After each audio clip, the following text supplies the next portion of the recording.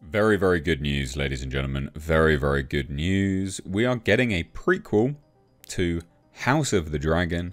It is about Aegon's conquest, how the Targaryens came in, unified but also subjugated uh, Westeros. I'm down for this. I really like House of the Dragon. I I genuinely really like House of the Dragon. So I'm very, very down for this. I think this is fantastic news. It's from the writer who's doing the Batman Part 2. This is also the chap who did uh, or, has been writing Berserker with Keanu Reeves as well. Pretty in-demand writer, actually. Um, so I think this is great. I actually do think this is absolutely brilliant. This is great news. So we're going to dive into this today.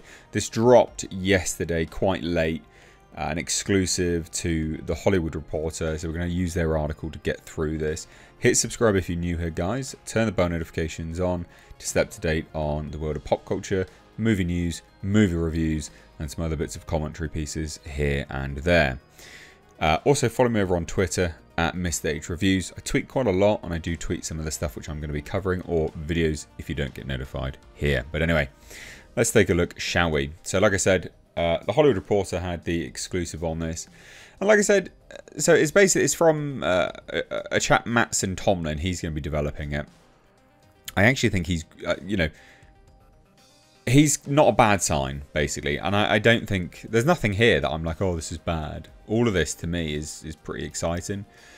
Um, so it is about Aegon's conquest of Westeros.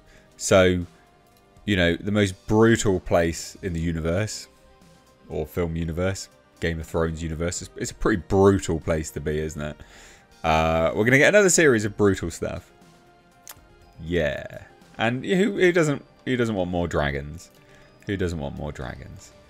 So HBO is developing another Game of Thrones spin-off series. The company is actively heating up its long in discussion Aegon's conquest idea. Now, this is what I think is interesting, and it is interesting, right? We we had a, a massive delay on any Hollywood Productions series as well because of the WGA strike. And I did say it'll be interesting to see what happens from from them coming to a deal to see how how the landscape's going to change because normally you'd have something like this announced and it would have a epic massive not epic in a good way, epic in size, writer's room. And you know full well it would end up being crap. You just know it would end up being crap because they'd have too many cooks trying to work in this kitchen to come up with these ideas. Uh, but part of the new deal that they had was you could have someone that was a showrunner and the sole writer for the entire series. Right? So it looks like this might be that which I think is fantastic because that's good. Less cooks in the kitchen to spoil the broth, as it were. So HBO is partnering with Mattson Tomlin, an in-demand scribe who did uncredited work on The Batman. He's also co-writing its upcoming sequel, The Batman Part 2. He also wrote the Keanu Reeves action comic adaptation Berserker. Uh, so that's, you know, he wrote that basically which I think loads of people would be, you know, that that's probably going to be the best sign for for most people. The Batman men, not really, but Berserk is probably going to be the best sign for people to have confidence. Uh, and he also did the animated Terminator series, which he is the showrunner of for Netflix. Now, I don't think the, the Terminator the anime looks particularly great, but the Berserker thing does. So Aegon's Conquest is basically a direct prequel to the hit House of the Dragon, telling the story of the Targaryens' bloody and brutal conquest of Westeros. The story follows the invader Aegon Targaryen, who conquered the continent of Westeros with his sister wives uh, Rhaenys, Rhaenys and Visenya, uh, and their dragons. Uh, Aegon successfully unified six of the seven kingdoms in just two years, with only Dorne able to successfully resist. So, this is going to be probably one of the most brutal and bloody series we will watch in Game of Thrones, I think. I'm here for it. I think it's great. Because they nail it. They absolutely nail uh, Game of Thrones aesthetic. HBO just gets it. It just works. So one... Okay, my mouse had an absolute fit. Never mind, sorry. One source described the project as taking a back-to-basics approach to George R. R. Martin's epic fantasy universe, though considering the first series was sprawling and complex, it's unclear what back-to-basics means exactly in the Thrones context. Variety previously reported Aegon's conquest as an idea in discussion early last year. Uh, since Game of Thrones concluded in 2019, there have been many prequels and one sequel idea put into development, and some are considered no longer active. Yeah, because there was some there was uh, some leaks to do with something else that you know recently dropped. It didn't look particularly great. Uh, but never mind, though HBO prefers not to say any option is completely off the table, as there's always the chance a once promising idea could be redeveloped under a different writer, so that is true, which is quite good of them actually.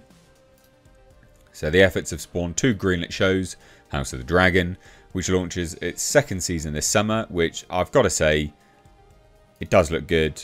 I'm here for House of the Dragon Season 2. I really enjoyed reviewing House of the Dragon weekly. I had such a good time with it. It was uh, Matt Smith in House of the Dragon. So good. What, an, what a wasted actor. Not not in House of the Dragon, but just generally, he's so good. Uh, and then the other one is A Knight of the Seven Kingdoms, The Hedge Knight, which starts production this year and is based on Martin Martin's Dunk and Egg novellas. Uh, HBO's not, you know, choosing not to comment on this. Of course, they don't want to uh, reveal anything. That makes sense. So this is unconfirmed at this point in time, but you know, you could probably say, I mean, this is legit. It's happening. Uh, I doubt that the Hollywood Reporter would report on any of this if they didn't have a pretty good source on it all. So I'm really, I'm massively keen on this. Uh, and it, like I said, it just it does look like he's going to be the writer. Hopefully, he remains the sole writer on this series. And I will say, this HBO ramping up the Game of the Thrones stuff, I would say is definitely a symptom and a byproduct of having David Zaslav at the helm. Him being at the helm, he has said that they are wasting their franchises, they're wasting their IP, and they're not doing enough with it. Now you get stuff like this, so they are definitely doing things with it, which is great. Um, and it also potentially reshapes where the streaming battle uh, will go moving forwards because Game of Thrones was the premiere show. It was what everyone talked about. Obviously, they destroyed the last season and it was wank and whatever. But if they nail it, I mean, House of the Dragon, everyone was talking about House of the Dragon. Yeah, some people were burned, but House of the Dragon was incredible. If they nail this, so good. HBO will be back up there, just upper echelons again.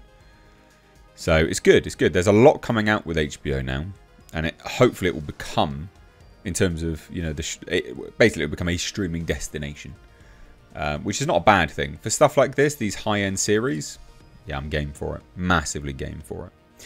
So let me know what you think down below. I'd love to hear your thoughts. Uh, cheers, guys. Take care. Bye bye now.